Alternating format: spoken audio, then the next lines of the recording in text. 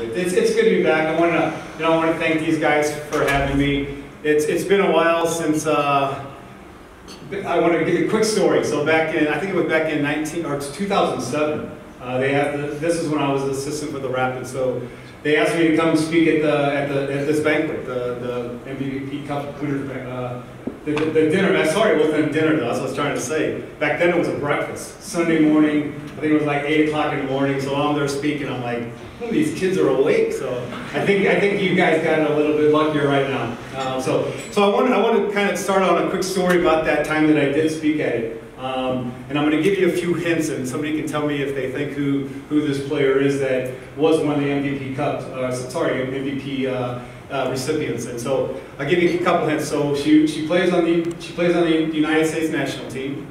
She was the 2018 um, MVP of the, the women's league this year. Or sorry, in 2018, sorry, last year. And um, she she's obviously from Colorado. She played with Colorado Rush. Anybody have an idea? Who is it?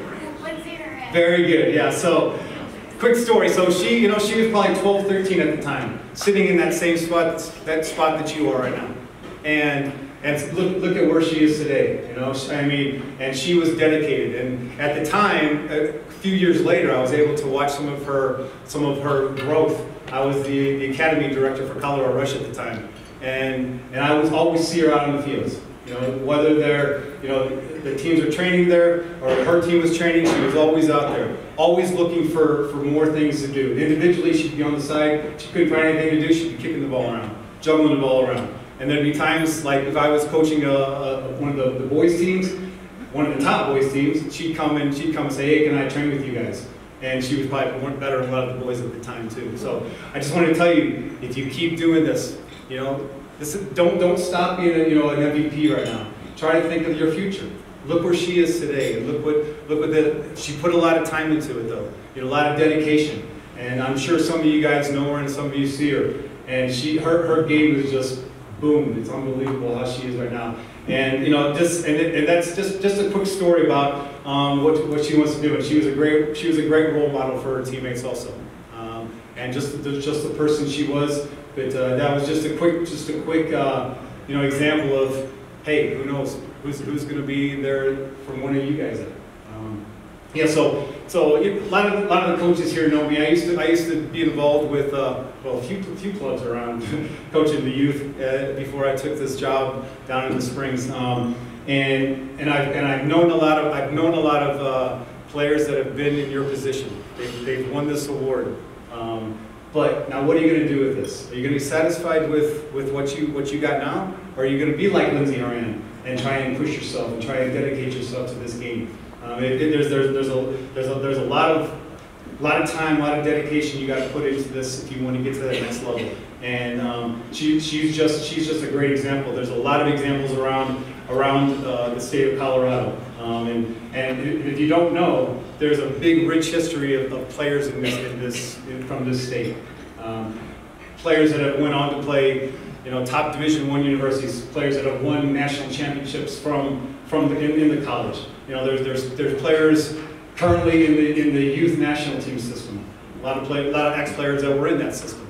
There are players that have been played on the full national team. You know, there's players that uh, have played professionally. Um, some, some have went on to play abroad. And so there's a lot of options for you out there. But are you going to be satisfied what you, what you have done right now?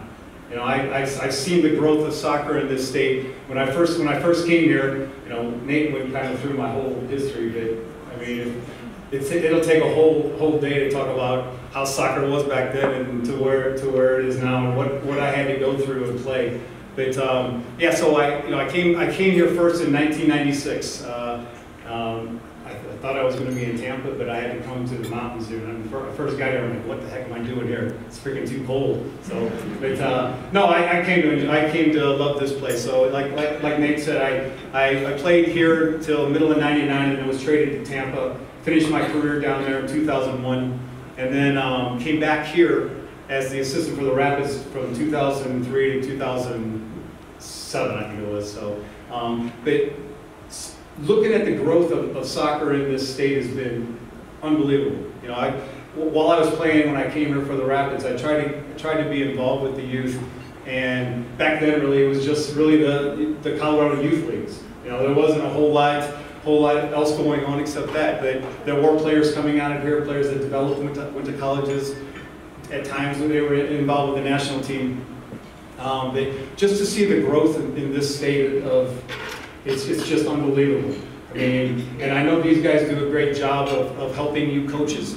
Um, and I, and I know for a fact, in this state, there are top coaches, a lot of, a lot of ex-pros, um, and, and I know these guys, and I know, and I know the, the, the work they do with you guys. So listen to your coaches, you know, take, take the advice they're giving you, and try and get to that next level. Don't be satisfied, don't be satisfied with what you've done. Try and keep getting better. Because this, this is a great game, and I love this game, and, and I, love, I love seeing Colorado players get to that next level. Um, and so, keep listening and keep learning from them. Uh, and, and all the programs are available now. You know, like, like we were talking about, there's, there's just, right, when I was, when I was growing up, when, uh, when I first came here in, in, in 96, like I said, there were just the leagues. Now you got, I mean, you got uh, the DA, you got the ECNL League.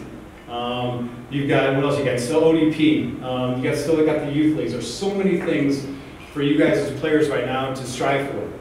Um, and, and so, and that's going to get you to that next level. You know, there's, there's, there's, like I said, there's great coaches out there. Listen to them, learn from them, and hopefully you can get to that next level if that's, if that's what you want to do. And, and on that, on that point, you know, talking, we were talking over here about the, the scouting. Um, Coach Freitag, you know, him and I, we do some of the, the, the, scouting for U.S. soccer still, trying to find those players uh, to get to that next level, to get to the youth national teams. But I know for a fact that, that the, whether it's college, whether it's U.S. soccer, these coaches, they, they, or these scouts, they love watching Colorado players. And they're always, they're always looking for them. They, they know they're well coached. You know, they know they're hardworking, they're dedicated players here. And so if you can, if you can get to that next level, if you can be seen by these, these, these, these scouts, you can get to that next level. And so, like I said, there's a lot of opportunities out there for you, um, and hopefully you can take advantage of them.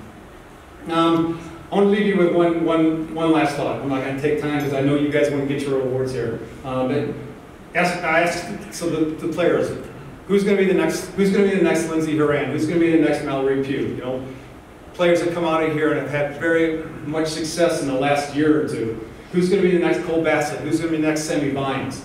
You know, two, two homegrown players that the Rapids have signed, you know, didn't even go to college, right out of high school. You know, who, who's, who's going to be out of this group here, who, who, who's going to be that?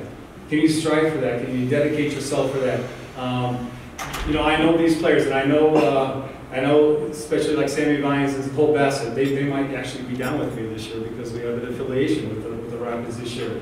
But I know what they've went through. You know, that there's going to be times, hey, your friend's going to say, hey, let's go do this. Are you going to do that, or are you going to go to the field and work on your game? You know, so that's that's one of those things you got to decide of, of what what you got to put into this game to do it. There's so much available right now to to learn from this game. Like I said, learn from your coaches.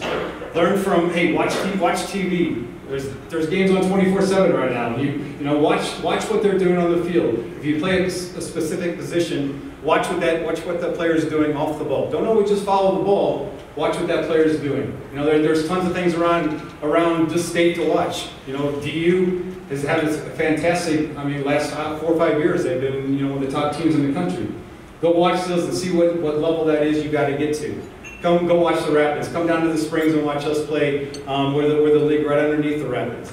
Um, and I, my, you know, my guys, a lot of them will play the MLS. A lot of, a lot of them will play abroad. So it's a very, it's a, it's a big, it's a, it's a high brand of soccer. And now with our affiliation with the Rapids, it should be even better, hopefully. If not, I'm gonna be out of a job. So, you know, they, um, you know, you know, keep keep learning and keep trying to dedicate yourself to this game.